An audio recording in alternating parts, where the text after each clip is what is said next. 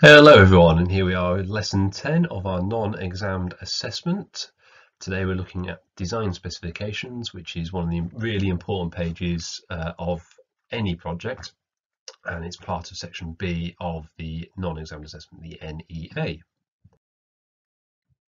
So where are we at the moment? Uh, if you've been following all of these lessons we are currently on lesson 10 uh, and we've at this point completed all of our research that we need before we can get into developing our product as well as uh, our design brief. Uh, where does the where does the specification sit in the grand scheme of the entire project? Um, and what is a specification? Uh, the specification is um, split into a couple of different areas. There's two specifications we do in a, a project. We have a design specification and manufacturing specification. So let's break down the words. Design, the act of creating or developing an idea. Uh, obviously, normally we design paper on pen, and we could design using models, CAD, got a variety of options there. And a specification is a list of criteria uh, a product must meet to be successful. Okay, so a design specification is a list of criteria that your designs must, should, and could follow to be considered successful. So here's the mark scheme. Uh, as ever, we're really focusing on the top marks here because that's what we're all aiming for. Um, and I've highlighted there in the little box what we're looking for. So comprehensive design specification with very high level of justification linking to the needs and wants of the client and user, which will then fully inform subsequent design stages. So we need to have a comprehensive design specification, which means we're going to have written about all the different areas that our design might cover and we're also going to make sure we are clearly justifying it, and that's going to be linking it to our research and linking it to our clients' needs. Those are what we're going to be doing. So writing some really clear points about what we're going to design, and then linking it and giving reasons why we want that from our design. So the little task for us here is where we want to link the uh, different products I've listed there with different possible specification points.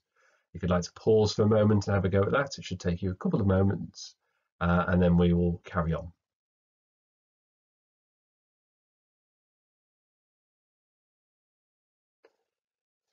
So here I'm going to go through the answers really quickly.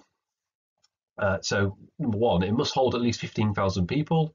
Uh, I'm going to go for a football stadium for that. Uh, ideally, Lincoln City's new football stadium would be 15,000 people. Um, I'm a big Lincoln City fan. You can tell from the scarf behind my head that way. Uh, Anti-lock brakes must be fitted as standard. So that'll be for a car.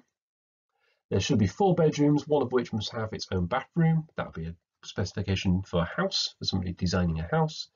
It must have four tiers, each made of cheese or pork pie. I've gone for a wedding cake for this. Uh, this is what I wanted in my wedding cake. Uh, my now wife overruled me and said we had to actually have cake in a wedding cake.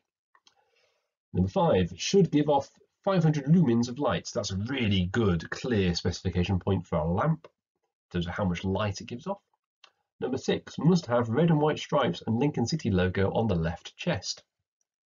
That would be a football kit. Uh, Seven, must be able to support the weight of a laptop without breaking. So that's going to be a piece of furniture.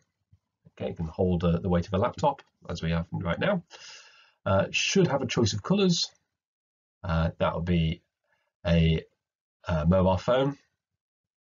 And should travel at 15 knots whilst not rocking more than 15 degrees quite trying to be a specific one about an air, aircraft carrier. I don't actually know if those are good specification points for an aircraft carrier. I've not done that much in terms of designing large scale boats ever.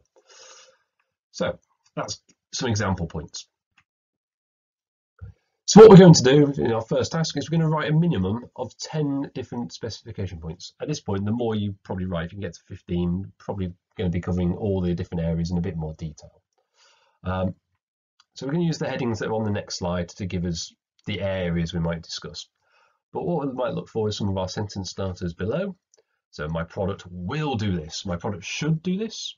So maybe not as important. So really important ones would be using the terms must and will or has to do.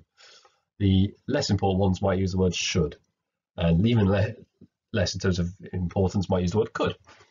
Uh, so those are the, the sort of sentence starters you might want to use and depends on the product we're, we're doing. My example there is my clock must be themed for a Lincoln City fan with colours of red and white. Can you see a theme through this presentation? So these are some of the main areas I would normally discuss for a specification. So function, what the product's going to do, how it's going to work, what it's going to look like, so aesthetics, and then manufacture. So the materials, joining methods, finishes. So there's top three there, F, A, and M. Uh, my students in school will re remember this acronym, but we always talk about DAFAM in uh, design technology.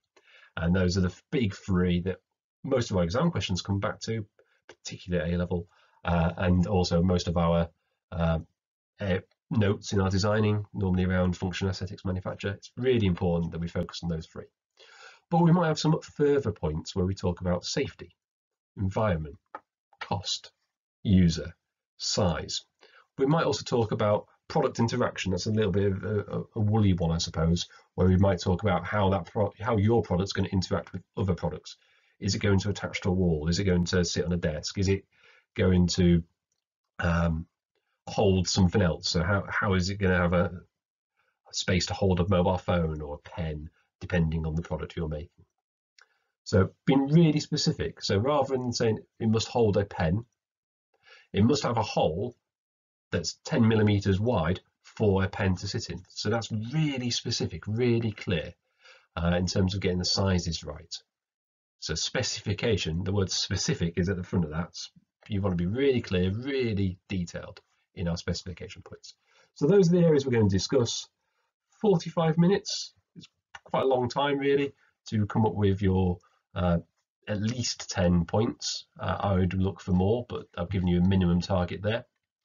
And once we're finished, you may then move on to the next slide.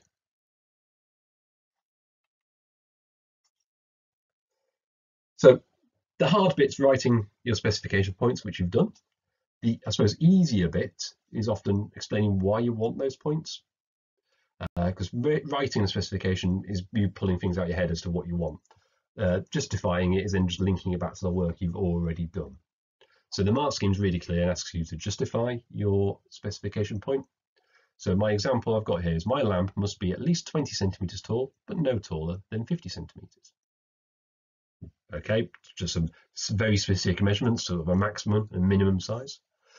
This is because over 20 centimeters, the light will be able to reach over my client's homework, uh, but it needs to be less than 50 centimeters because there's some shelves above it. I'm trying to make it really clear that it links to the research that I've undertaken, and that's a, a, a really clear, good example.